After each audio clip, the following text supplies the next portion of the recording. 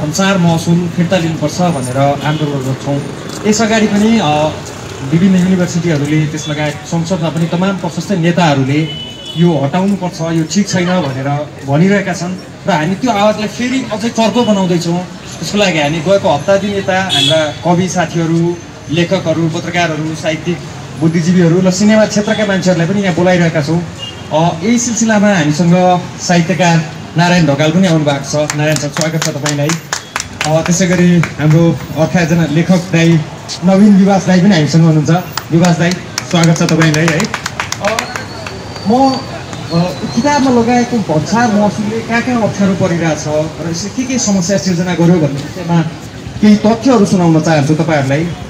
सबभन्दा पहिला नेपालको संविधानले शिक्षालाई मौलिक अधिकारको रूपमा व्याख्या गरेको छ।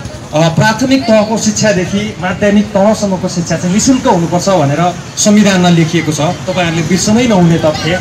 र त्यसपछि भर्खरै गएको जेठ पन्ध्र गते जुन बजेट संसदमा सार्वजनिक भयो त्यो बजेटको मुख्य उद्देश्य थियो सत्तरी जिल्लालाई पूर्ण साक्षर बनाउने पाठ्यपुस्तकको गुणस्तर सुधार तथा शिक्षण सिकाइ प्रभावकारी बनाउने शैक्षिक प्रणालीलाई रोजगारीसँग आबद्ध गर्न सिपमूलक आयमूलक र प्राविधिक शिक्षालाई अभियानका रूपमा सञ्चालन गर्ने र अर्को एउटा अर्को उद्देश्य पनि थियो नेपाललाई उच्च शिक्षाको गन्तव्य बनाउने।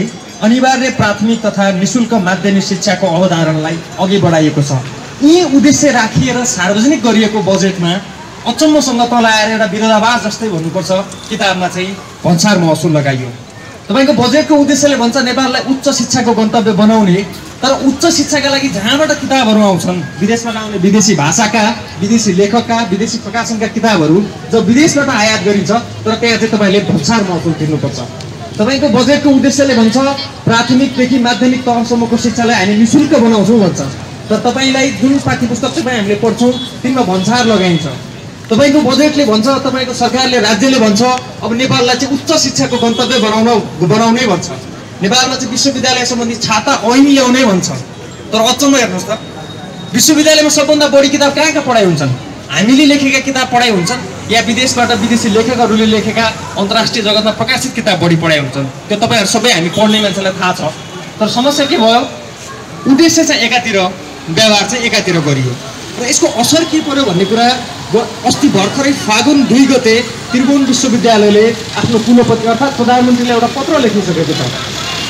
तपाईँहरूले पाठ्य पुस्तकमा र किताबमा भन्सार महसुल लगाएर हाम्रा विद्यार्थीहरूले पढ्न पाइरहेका छैनन्।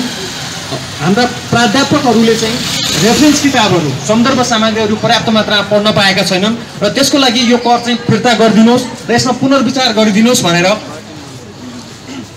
त्रिभुवन विश्वविद्यालयले आफ्ना कुलपति अर्थात् प्रधानमन्त्रीलाई पत्राचार पनि गरिसकेको छ। र यो कर लगाएर समस्या के हुन्छ त दस प्रतिशत त हो। हामी तिर्न सकिहाल्छौँ नि भन्ने तपाईँहरूले यदि सोच्नु भएको छ भने त्यसो हुने छैन। किन हुने छैन भने यसअगाडि जुन कर तिर्नु पर्थ्यो यसअगाडि नेपाली व्यवसायहरूले भारतबाट किताब ल्याउँदा जुन कर तिर्थे त्यो कर छपाईको मूल्यमा तिर्थे। किताब छाप्दाखेरि कुनै पनि अन्य देशमा लागेको मूल्यमा नेपाली व्यवसायहरूले कर तिर्ने गर्थे। तर अब त्यसो हुने छैन।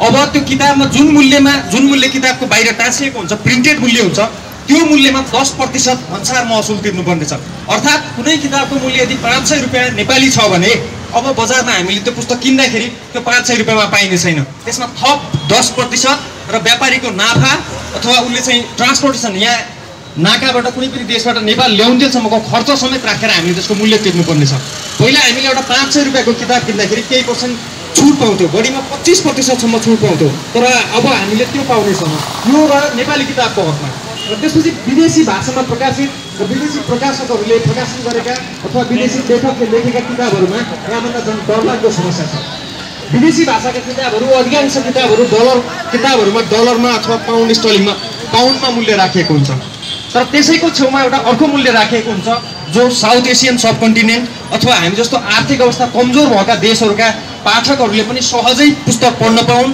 सहजै अन्तर्राष्ट्रिय ज्ञानमा आफ्नो पहुँच बनाउन पाउन् भनेर डलरको मूल्य हटाएर त्यहाँ एउटा छुट्टै मूल्य राखिएको हुन्छ जुन डलरभन्दा निकै सस्तो हुन्छ।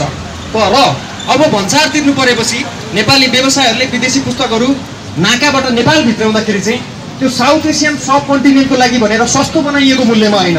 जुन डलरमा विश्वव्यापी बजारका लागि तोकिएको मूल्य थियो त्यही मूल्यमा चाहिँ हाम्रा व्यवसायहरूले भन्सार तिर्नु परिरहेको छ। अर्थात् कुनै एउटा किताबको मूल्य दस पाउन्ड छ भने दस पाउन्ड छ भने दस पाउन्डमा उसले त्यसलाई नेपालीमा कन्भर्ट गरेर त्यसमा थप दस प्रतिशत भन्सार तिर्नुपर्छ। र त्यसपछि त्यो किताब बल्ल तपाईँ हाम्रो हातमा आइपुग्दाखेरि तपाईँ कल्पना गर्नुहोस् कति महँगो हुन जान्छ। त्यसै त नेपालमा आधाभन्दा बढी विद्यार्थीहरू माध्यमिक तहसम्म पुग्दैनन्। किन भनेपछि किताब महँगो पर्छ कापी कलम पहिरन ड्रेस जस्ता तमाम कुराहरूको खर्च धान्न नसकेर वर्षेनी आधाभन्दा बढी विद्यार्थीहरूले विद्यालय छाडिरहेका छन्। अनि तपाईँको सरकारले भनिरहेको छ प्राथमिक शिक्षा निशुल्क बनाउने। किताबमा करबाट कसरी शिक्षा निशुल्क हुन्छ? एकचोटि प्रश्न सोध्नुहोस् त। र म यो सँगसँगै अर्को सो भन्न चाहन्छु हाम्रो सम्माननीय प्रधानमन्त्रीज्यूलाई जसको बजेटको अहिले भइ भयङ्कर चर्चा भइरहेको छ बजारमा। उहाँले बारम्बार भन्ने गर्नुहुन्छ मैले जेलमा खुबै किताब पढेको हुँ। जति पनि मेरो ज्ञान थियो सबै जेलमा आर्जन गरेको जेलमा मैले पत्र पत्रिका पढेँ किताब पढेँ तमाम कुराहरू पढेँ कविता लेखेँ भन्नुहुन्छ। त्यसपछि म प्रधानमन्त्रीलाई तपाईँहरूलाई भन्न चाहन्छु प्रधानमन्त्रीले एउटा प्रश्न सोध्नुहोस्। जतिखेर पञ्चायतकालमा उहाँ जेल पर्नु भएको थियो के त्यतिखेरको सरकारले पञ्चायत सरकारले चाहिँ किताबमा कर लगाएको थियो त यदि किताबमा कर लगाएको भए उहाँले त्यसरी जेलमा निर्वाध रूपमा किताब पढ्न पाउनुहुन्थ्यो होला त? एकचोटि प्रधानमन्त्रीलाई गएर प्रश्न सोध्नुहोस्। र यति भन्दै मैले मेरो भनाइ राखेँ। साथीहरू हामी किताबमा लगाइएको भन्सार महसुलको विरुद्धमा हप्ता दिनदेखि निरन्तर सङ्घर्षमा छौँ। र तपाईँहरू निरन्तर जोडिनुहोस् हामीसँग। किनभने आज तपाईँ हामीलाई दस प्रतिशत सामान्य लागे पनि भविष्यमा गएर कालान्तरमा गएर यो विभेद यो बढ्दै जानेछ। यो करले तपाईँ हामीले सहजै उपलब्ध हुने पुस्तकहरू पाउने छैनौँ। पुस्तकहरू नपाउनु भनेको के हो भनेर हाम्रा साथीहरूले बारम्बार भनिरहनु भएको छ। किताब पढ्न नपाउनु भनेको किताब पढ्न नपाउनु भनेको तपाईँलाई चाहिँ एउटा सबल मान्छे बन्न नदिनु हो। जसरी हाम्रो शरीरलाई एउटा स्वस्थ र तन्दुरुस्त राख्नको लागि पौष्टिक खानेकुरा चाहिन्छ नि।